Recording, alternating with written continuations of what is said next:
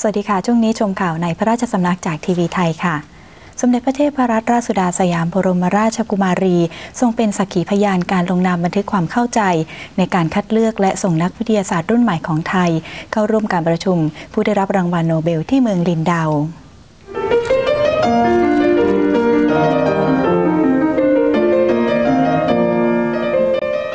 เย็นวันที่ 27 มิถุนายน พุทธศักราช 2553 ภายหลังจากเสร็จสิ้นพิธีเปิดการประชุม ผู้ได้รับรางวัลโนเบลครั้งที่ 60 ณ ศูนย์ประชุมอินเซลฮัลเลอร์ เมืองลินเดา ซึ่งมูลนิธิการประชุมผู้ได้รับรางวัลโนเบลที่เมืองลินเดา ได้ขอพระราชทานพระราชวโรกาส ถวายพระเกียรติ สมเด็จพระเทพรัตนราชสุดาสยามบรมราชกุมารี เป็นสมาชิกสภาที่ปรึกษากิตติมศักดิ์ มูลนิธิการประชุมผู้ได้รับรางวัลโนเบลที่เมืองลินเดา สมเด็จพระเทพรัตนราชสุดาสยามบรมราชกุมารีทรงพระดำเนินไปยังศาลาว่าการเมืองลินเดา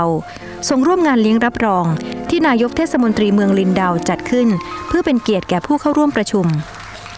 ศาลาว่าการเมืองลินเดาเป็นอาคารเก่าแก่แบบโกธิกที่งดงาม ด้านนอกอาคารมีภาพวาดจิตรกรรม เล่าเรื่องประวัติศาสตร์เมืองลินเดา ส่วนภายในมีหอจดหมายเหตุและห้องสมุดเก็บหนังสือเก่าที่มีอยู่จำนวนมาก จากนั้นสมเด็จพระเทพรัตนราชสุดาสยามบรมราชกุมารี เสด็จพระราชดำเนินไปยังโรงแรมบาดชาเคินทรงเป็นสักขีพยานการลงนามบันทึกความเข้าใจ ระหว่างสำนักงานพัฒนาวิทยาศาสตร์ และเทคโนโลยีแห่งชาติ กับสภาการประชุมผู้ได้รับรางวัลโนเบล ที่เมืองลินเดา ร่วมกับมูลนิธิการประชุม ผู้ได้รับรางวัลโนเบล ณ เมืองลินเดาแห่งทะเลสาบคอนสแตนซ์ในการคัดเลือก และส่งนักวิทยาศาสตร์รุ่นใหม่ เข้าร่วมการประชุมในปี 2554 ถึง 2556 แต่ปี 2551 เป็นต้นมา สมเด็จพระเทพรัตนราชสุดาสยามบรมราชกุมารี มีพระราชประสงค์ให้นักวิทยาศาสตร์รุ่นใหม่ของไทย ได้มีโอกาสเข้าร่วมการประชุม เพื่อเปิดโลกทัศน์ทางวิชาการ ได้เรียนรู้ความก้าวหน้าทางวิทยาศาสตร์ใหม่ ๆ จากประสบการณ์จริง ของผู้เคยได้รับรางวัลโนเบล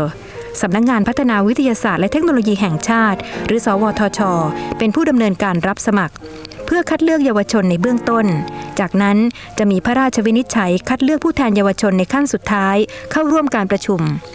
ผู้แทนเยาวชนที่เข้าร่วมในการประชุมครั้งนี้ มีจำนวน 5 คน เป็นนักวิทยาศาสตร์ และนิสิตนักศึกษา สาขาเคมี สาขาฟิสิกส์ และสาขาแพทยศาสตร์ จากมหาวิทยาลัยมหิดล จุฬาลงกรณ์มหาวิทยาลัย และมหาวิทยาลัยเชียงใหม่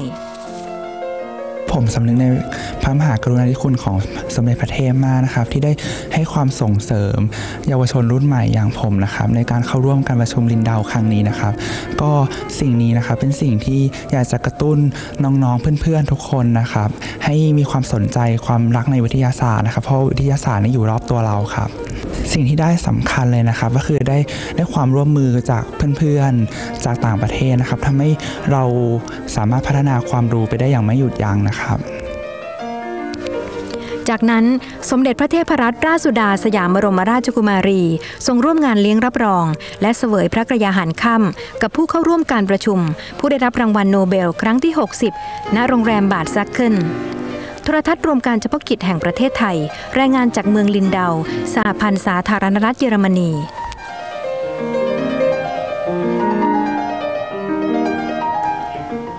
ก่อนหน้าที่จะเสด็จพระราชดำเนินเยือนสาพันธ์สาธารณรัฐเยอรมนี สมเด็จพระเทพรัตนราชสุดาสยามบรมราชกุมารี เสด็จพระราชดำเนินไปทรงเปิด สถานเอกอัครราชทูตแห่งใหม่ณกรุงบรัสเซล ราชอาณาจักรเบลเยียมวันที่ 26 มิถุนายน พุทธศักราช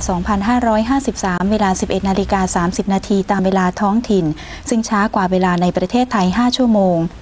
สมเด็จพระเทพรัตนราชสุดาสยามบรมราชกุมารี เสด็จพระราชดำเนินไปยังสถานเอกอัครราชทูตณกรุงบรัสเซล ราชอาณาจักรเบลเยียม ทรงเปิดสถานเอกอัครราชทูตณกรุงบรัสเซลแห่งใหม่ นายพิสารมานวพัฒน์เอกอัครราชทูตณกรุงบรัสเซล และภริยา พร้อมด้วยข้าราชการสถานเอกอัครราชทูต เฝ้าทูลละอองพระบาทรับเสด็จ หลังจากทรงตัดแถบแพร เปิดสถานเอกอัครราชทูตณกรุงบรัสเซลแล้ว ทรงพระดำเนินเข้าภายในอาคาร ทรงลงพระนามาพิไทยในสมุดเยี่ยม ทรงพระสุราย ทรงเจิญป้ายสถานเอกอัครราชทูต และทอดพระเนตรภายในอาคารและโอกาสนี้มีพระราชปฏิสันถานกับคณะทูตต่างประเทศ และผู้แทนคณะกรรมาธิการสหภาพยุโรป อาคารสถานเอกอัครราชทูตณกรุงบรัสเซลส์แห่งใหม่นี้ ตั้งอยู่เลขที่ 876 โชเซเดอวอเตอร์ลูกรุงบรัสเซลส์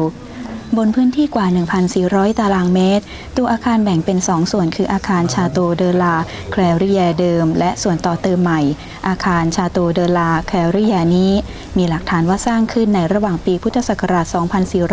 2414 ถึง 2416 ลักษณะสถาปัตยกรรมแบบ Flemish Neo-Renaissance เชื่อกันว่าสถาปนิกผู้ออกแบบคือนายวองอีซองดิก ส่วนที่ต่อเติมใหม่สร้างในช่วงปี